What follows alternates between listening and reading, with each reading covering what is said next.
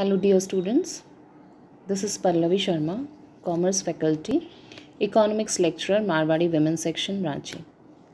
Students, this is my fifth video.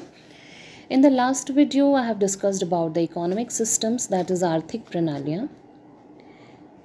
In this particular video, I have chosen the topic to discuss with you all is the central problems of an economy or अर्थव्यवस्था की केंद्रीय समस्याएं Here in this topic, you must notice that there is a word अर्थव्यवस्था that is economy.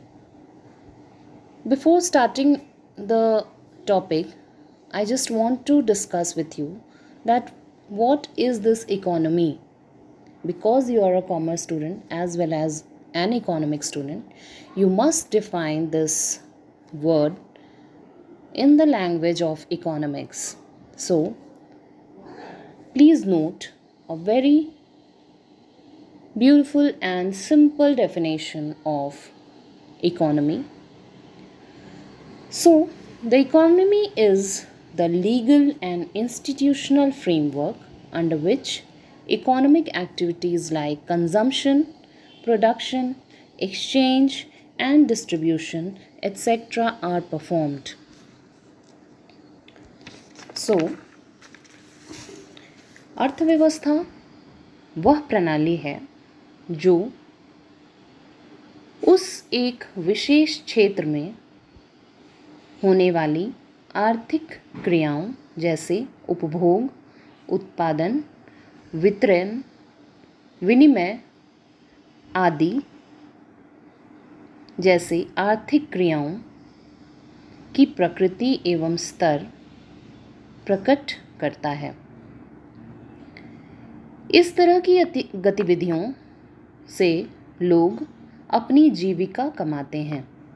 सो, इसे हम कहते हैं अर्थव्यवस्था। So getting back to our main topic that is central problems of an economy the foremost topic of this exercise was this only आर्थिक समस्या क्या है? According to professor Robbins in real life we come across four facts due to which economic problem arises we have discussed about these things in the previous videos also that human wants are unlimited the means to satisfy are limited All wants are not equally important or intense and the last is means are capable of alternative uses. So, the central problems of an economy are what to produce and in what quantity, how to produce and for whom to produce. आर्थिक समस्या मूल रूप से चुनाव की आवश्यकता से पैदा होने वाली समस्या है। आर्थिक समस्या उत्पन्न होने के तीन कारण हैं। असीमित आवश्यकताएँ, सीमित साधन और वैकल्पिक प्रयोग। प्रत्येक अर्थव्यवस्था की सबसे पहली समस्या यह है कि कौन सी वस्तुओं तथा सेवाओं का उत्पादन किया जाए। जिससे लोगों को अधिकतम संतुष्टि प्राप्त हो सके। जिन आवश्यकताओं को संतुष्ट करने का निर्णय लिया जाता है, उनके विषय में दो बातें तय करनी पड़ती है। किन वस्तुओं का उत्पादन किया जाए और उसकी कितनी मात्रा में उत्पादन किया जाए। उदाहरण के लिए, कौन सी उपभोक्ता वस्तु that is consumer goods that जैसे wheat rice clothes are all consumer goods जो हम और आप कंज्यूम करते हैं, अपने दैनिक जीवन में इनका उपभोग करते हैं, वैसी वस्तुओं को हम कहते हैं उपभोक्ता वस्तु। और कौन सी पूंजीगत वस्तुएँ लाइक मशीनें ट्रैक्टर पंप आदि का उत्पादन किया जाए। इफ़ इन एन इकनॉमी या किसी अर्थव्यवस्था में एक निश्चित समय में अपने सीमित साधनों द्वारा कपड़ा और गेहूँ का अधिक उत्पादन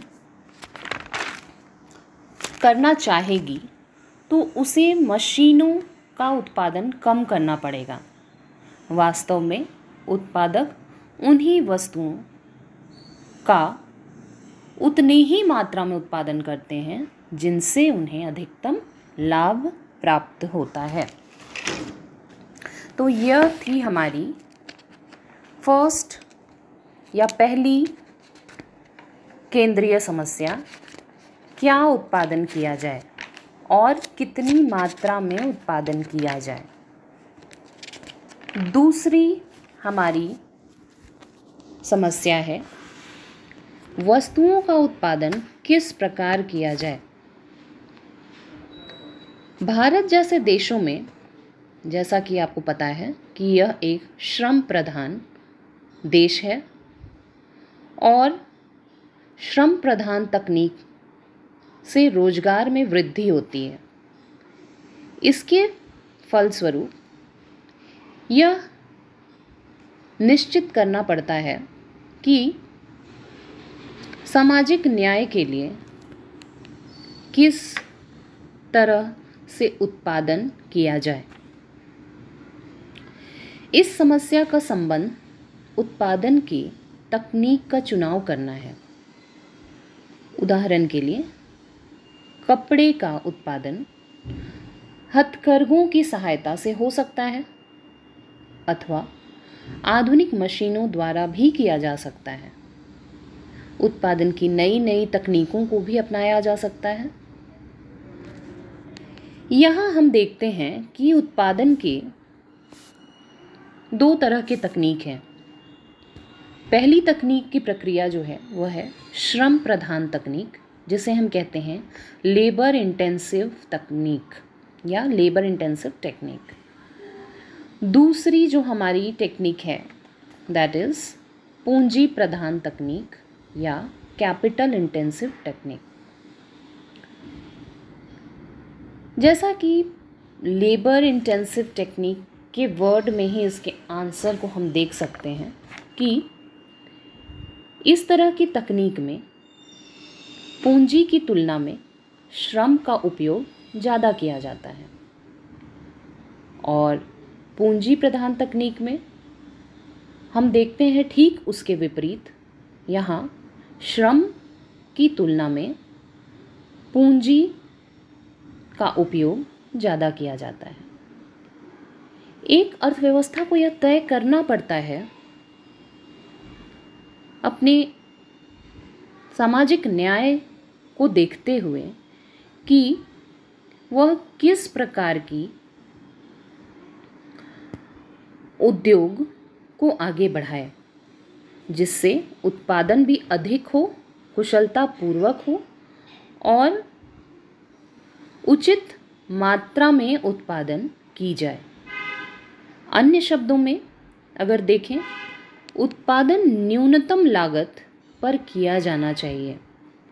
किसी भी अर्थव्यवस्था में उत्पादन कौन सी तकनीक अपनाएगा? यह साधनों की उपलब्धता और सापेक्षिक मूल्यों पर निर्भर करेगा। तो यहाँ हम लोगों ने देखा, बहुत सारे इसमें इंपॉर्टेंट पॉइंट्स हैं नोट करने को, कि हमारे जो वस्तुओं का उत्पादन है, वह दो प्रकार के तकनीकों से होता है। एक तो श्रम प्रधान तकनीक, दूसरी है हमारी पूंजी प्रधान तकनीक। चूँकि हमारा भारत जो है वह श्रम प्रधान तकनीक पर ज़्यादा विश्वास करता है, क्योंकि हमारे यहाँ श्रम की अधिकता ज़्यादा है। इससे क्या होता है कि हमें श्रम के साथ साथ रोज़गार की वृद्धि भी देखने को मिलती है। दूसरा पॉइंट है पूंजी प्रधान तकनीक। अगर पूंजी प्रधान तकनीक से उत्पादन किया जाता है तो किसी भी वस्तु की लागत कम होती है और जल्दी होती है।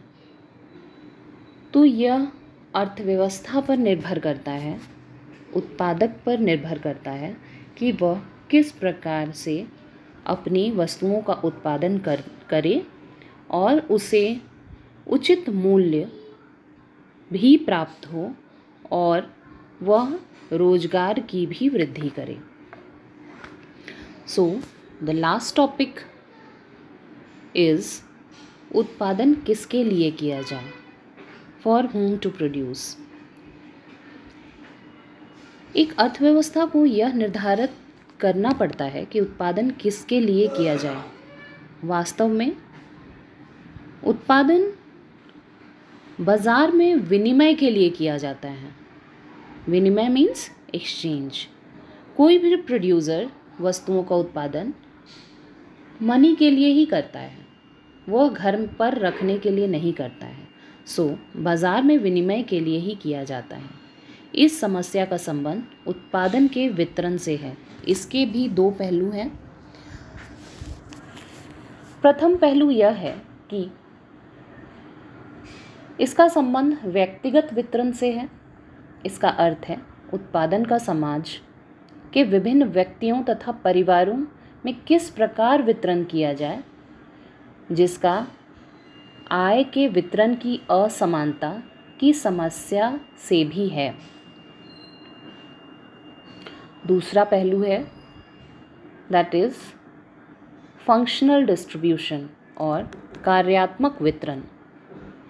इसका संबंध यह है कि उत्पादन के विभिन्न साधनों, अर्थात भूमि, श्रम, पूंजी और उद्यम में उत्पादन का बंटवारा किस प्रकार हो? इसका संबंध आय के वितरण की असमानता से नहीं है।